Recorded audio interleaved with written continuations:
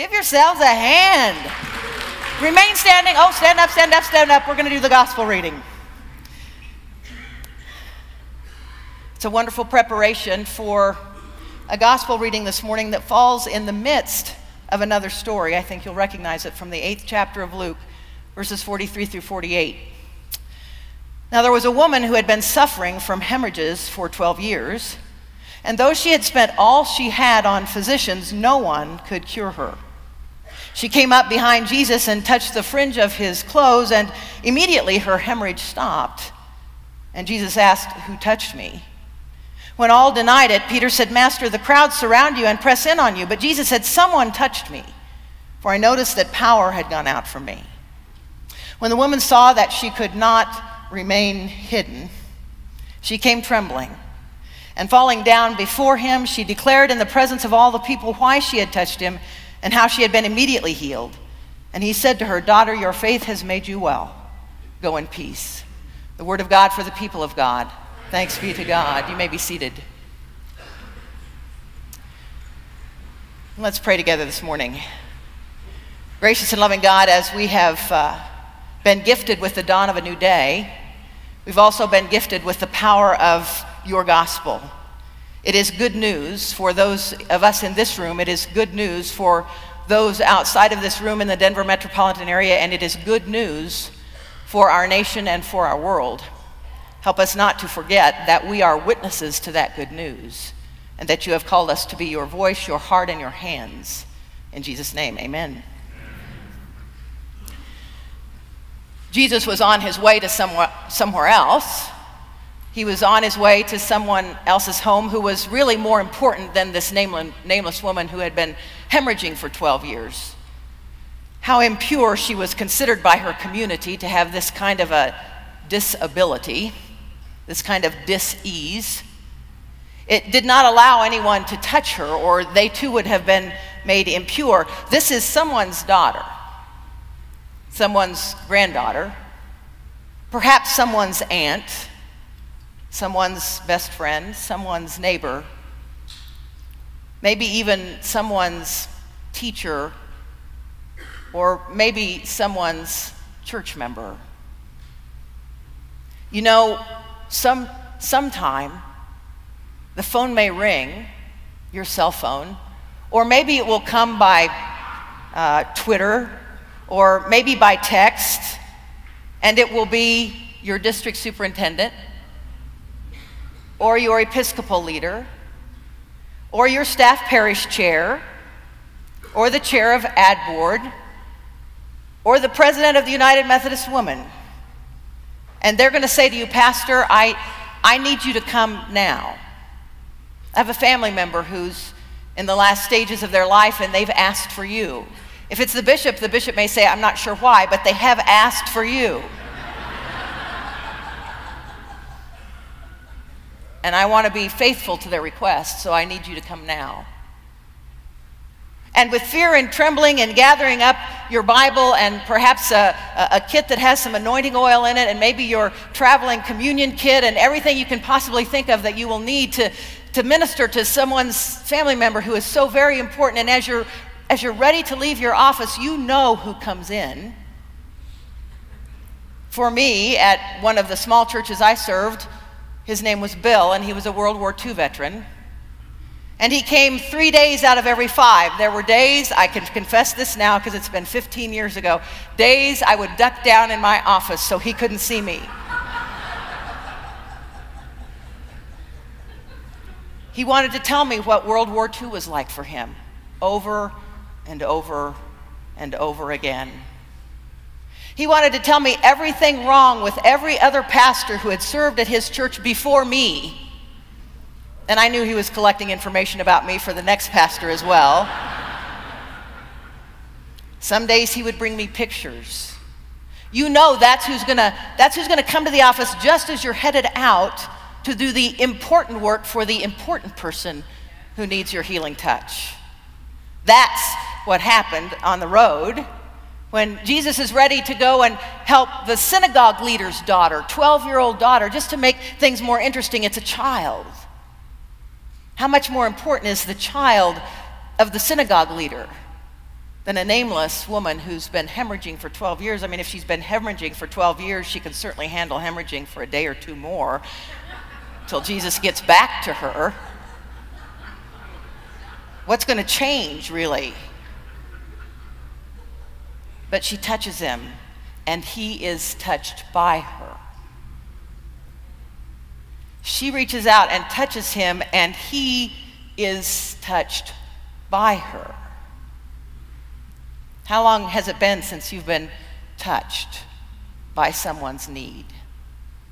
Since your heart broke because of someone's pain. You know, I stood up here yesterday and was glibly telling us all that we need to be prophetic and missional and we're going to we're going to bring the word to our congregations. I believe all of that. We're going to bring out the word to our congregations about racial issues that have flared up again in Ferguson, Missouri and we're going to bring a word about the conflict in Gaza and we're going to bring a word about the Ebola virus in Western Africa and we're going to bring a word about about the drone strikes and the targeted airstrikes in Iraq, and we're going to bring a word about the violence in Ukraine and Russia. And we're, we're going to bring all these words. In the midst of bringing all those words, we need to have our baskets filled, and as we fill our baskets, then there are others whose baskets are empty as well.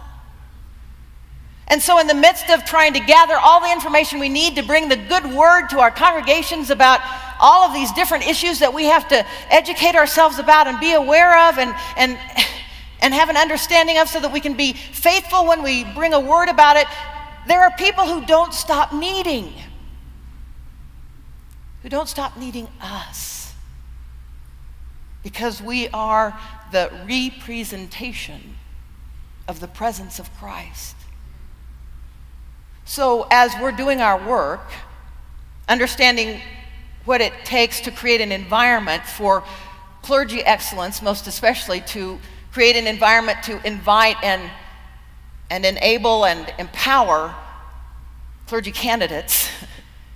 We must not forget that we are representations of the presence of Christ, and people need and want and desire to be in the presence of the living Christ. And, and we have to embrace the fact that, that that's us.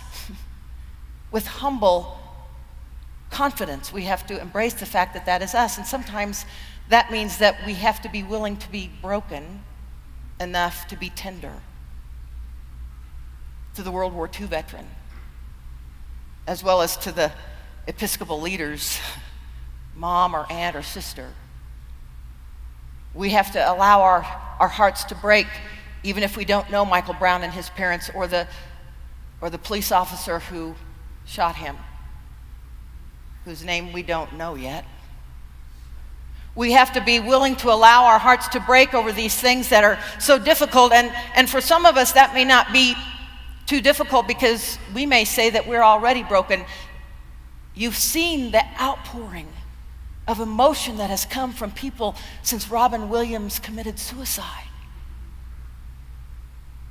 That has touched a nerve in this society that reminds us that before people are going to be willing to listen to us about Ukraine and Russia, about the Gaza Strip, about the Ebola virus in West Africa, about even race relationships in this country, before people are going to be willing to listen to us, they have to know that we understand brokenness and we understand their pain.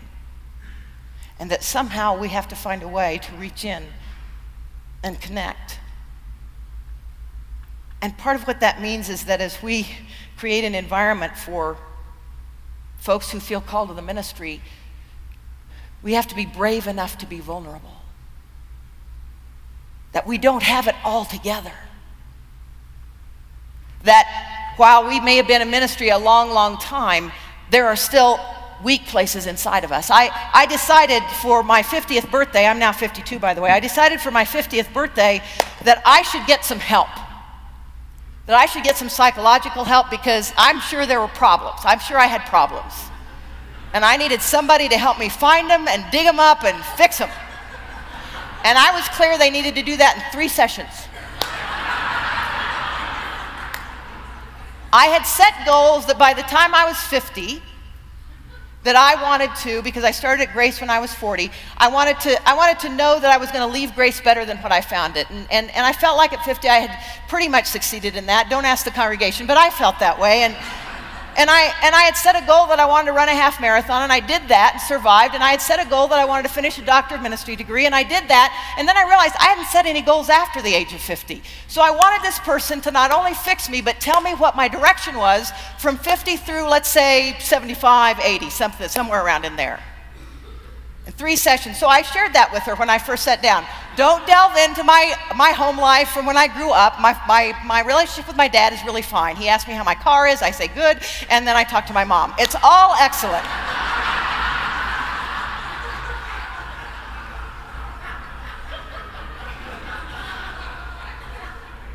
I knew going in, I knew more than she did. I really did. You know, I've done this a long time. And she said, okay, what do you think about the Pope retiring? I'm paying good money for this. What? She said, No, really, you're a Methodist pastor. What do Methodist pastors think about the Pope retiring? I said, Well, that hasn't happened in like 600 years. She goes, I know, go figure, right? She goes, Well, what, what do you think happened? Do you think it's political? Do you think it's really personal? What do you think? And I, so I start believe it or not, expounding on my opinion about the Catholic Church, the state of the Catholic Church today, why the Pope retired. And in the midst of that, she said, Nanette, when was the last time your heart was broken? Gosh, she's smart.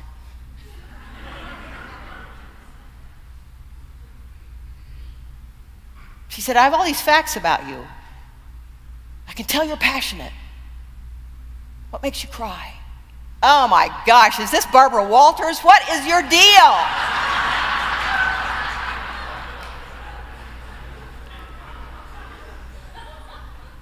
She says, I think you carry the pain of a lot of people. And maybe this Jesus you follow wants somebody to help you carry yours. It's been two years, I'm still going to see her. She says, You tell all those Methodists you meet in Colorado that they need help.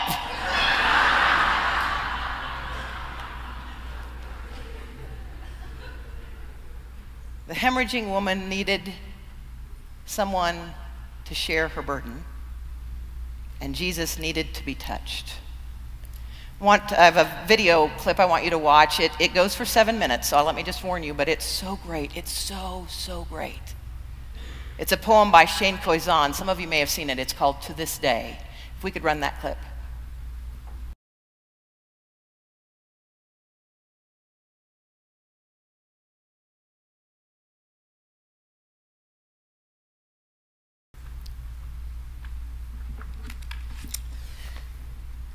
We are called to minister in that world, as Henri Nouwen would say, wounded healers to acknowledge our vulnerability and our weakness is brave. Read Brene Brown, Daring Greatly. Read Glennon Melton Doyle, Carry On Warrior. To admit our vulnerability is to be, even as Jesus was, willing to be touched by others. And when others realize that we are touched by their vulnerability, they will hear our prophetic word in a new way and may indeed change the world. Amen. Friends, we're going to do the prayer for peace. I'm running over. We're going to do the prayer for peace and then we're going to end the service this morning. So if we could uh, pull up the prayer for peace. Remember, Prince of Peace, the peoples of the world divided into many nations and tongues. Deliver us from every evil that obstructs your saving purpose and fulfill your promises of old to establish your reign of peace from the curse of war and all that creates it, from believing and speaking lies against other nations, from narrow loyalties and selfish isolation, from fear and distrust of other nations, from all false pride, vainglory, and self conceit, from the lust of the mighty for riches that drives peaceful people to slaughter from putting our trust in the weapons of war and from want of faith in the power of justice and goodwill, from every thought, word, and deed that divides the human family and separates us from the perfect realization of your love. Almighty God, do indeed deliver us from that sense that we have to carry the world, your world, on our shoulders, that we have to create in our congregations a kind of vitality that sometimes leaves you out of the center. Help, uh, help us to know that your vitality lives in us already. That we move out not from a place of abundance, but as Bishop Hagiya said, from a place of enough. And that as we are enough, you will create in us the courage and the bravery we need to be vulnerable for your people, to be touched, and to be able to touch those who are in greatest need. In Jesus' holy name we pray. Amen. God be with you for a wonderful day.